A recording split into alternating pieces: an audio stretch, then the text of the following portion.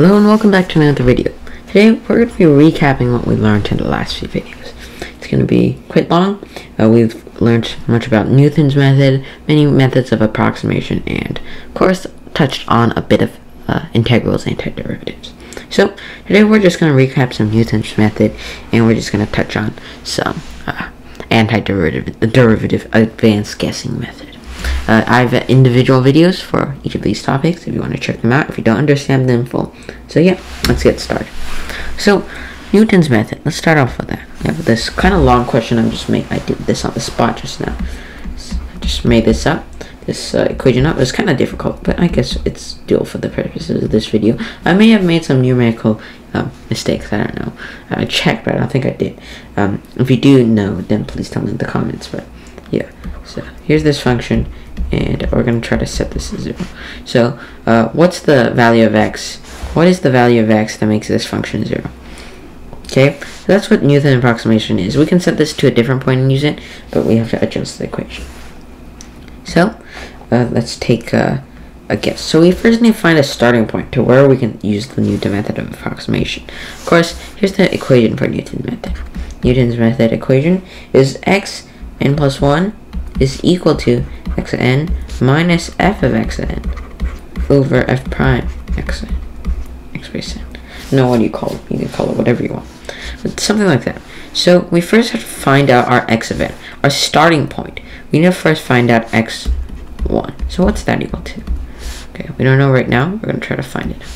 So let's try. So we need a starting point. So I'm going to plug in a value.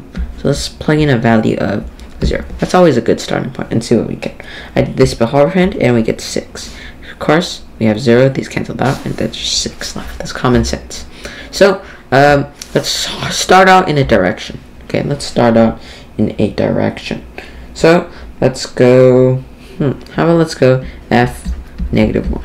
Okay, let's go in that direction. See if it decreases. If it goes past 0, okay, if it goes past 0, then uh, it means that it is a 0 goes through the point because this is a continuous function.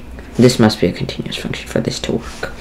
Okay, so negative 1, plug it in. Negative 1, this is just going to be negative 1. It's a negative 4 minus 8, that's negative 12. Negative 12 plus 6, that's negative 6. Okay, so going through this and this, we have 0 that's in between.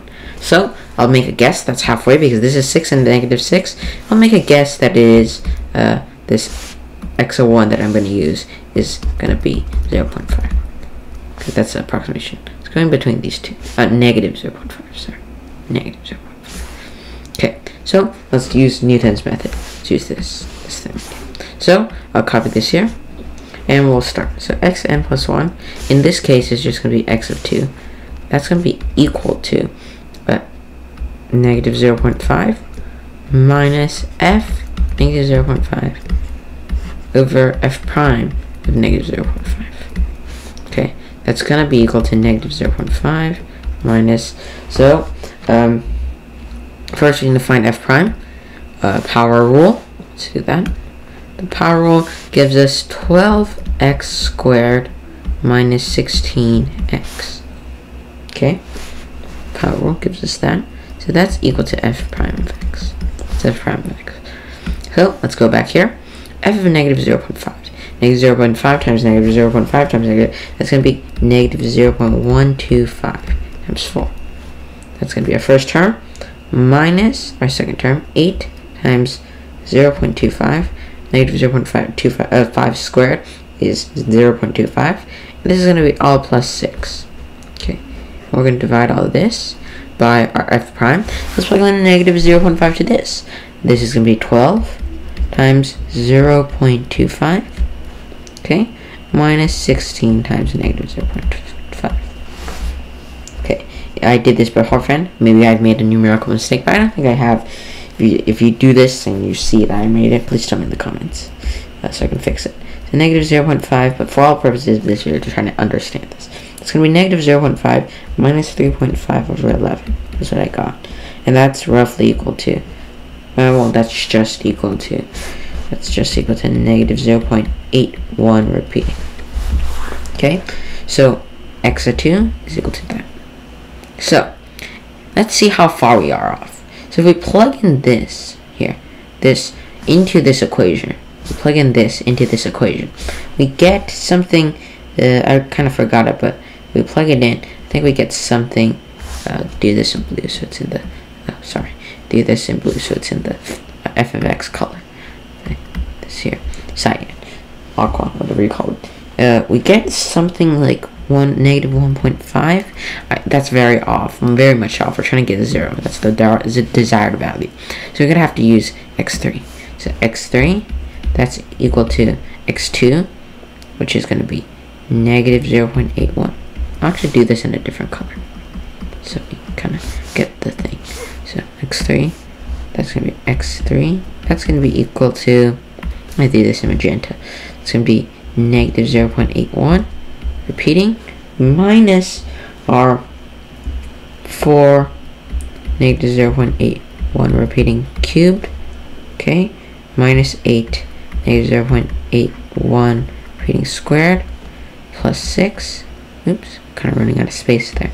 That over our 12 times negative 0.81 repeating minus 16 negative 0.81 repeating now you may be asking before we finish that why would we go all through all this trouble, um, all these decimals going trying to find this? Can't we just factor and solve? Well, of course you could do that, or you can use um, quadratic equation. But this might not work for this. Uh, but of course you could do that, but that just um, for very long functions that just takes too much time. This is much time saving it for very long functions. Of course, for this function you could do that because this is just an algebraic function. That's very easy to solve. You could just factor 2 out and you can get factoring but of course we're going to do this method for the purposes of this video but you want to draw the boundary of where you want to do Newton's method and where you just want to solve the equation okay so let's solve this I did this beforehand and get something roughly negative 0 0.749 uh, something like that. Okay something like this for this line. So I'll just I just rerounded this to negative 0.745 for this purpose. And we're going to plug this back in. Okay we plug this back in. Do this again in cyan. Plug this back in. And I got something like um, uh, I got something very very close. I got something negative 0 0.0942 this is already one decimal in the zero this should be a very close approximation of what this is. Of course, I don't think this is close enough because this is still hundredths place is still the 9. So I think we can do x of 4. But for this purpose of the video and for saving time, I'm not going to do that. Just stick it here. So we get something like that. Uh, f of negative 0.745 is a very close approximation. Just equal to, roughly equal to 0. Okay. So something like that. We just use Newton approximation. Just go it once. We oops. Go it. We do this once. We plug this back in, and then we do this another time, and we plug this back in. So loop. Okay. So I guess that was a good review of Newton's method. If you still don't understand the full and why we do it, check out the video. Okay, so here's another. We're just gonna do uh, advanced guessing. This is gonna be our last problem here. So I'm just going to try to find the integral of sine x cosine x. Okay, I did this uh, same problem in our video, last video. We're just going to do it again with advanced guessing. So, what advanced guessing is, it's not real integral. We're just going to antiderivative. We're just going to take a guess. Close guess. Let's take sine s squared x. Let's take that guess. That's our guess. Okay, we're going to take the derivative of this thing, and that gives us 2 sine x cosine x. Right? 2 sine x. This is, this is also rewritten as sine x sine x. Right? Okay. So that's what this is. And the derivative of this is 2 sine x cosine x. That's what I believe that is what it is. Okay. And then we have this thing here. And we are going to see how off this is. So these two things are the same. We just have this 2 lying out. So how do we get rid of this 2? Well, if we times by 1 half, 1 half, these 2's cancel out. So if we times by 1 half there, we want times by 1 half here, and then we get 1 half sine squared x plus c. So we see how much we're off by, we times by the reciprocal, and we get them. So this is just a trick and plus a derivative constant is zero. So that's why I added that. And we can use this. So if you really want to check out how to do this and do this quicker, uh, I suggest you check out the video yeah, that we have before. So that was a review of our last few chapters, um, Newton's method. I didn't do linear approximation here or mean value theorem. Go check out those videos. I just did these two topics, the main ones. So, thanks for watching. Hope to see you in the next video. Know this was a long one, but bye.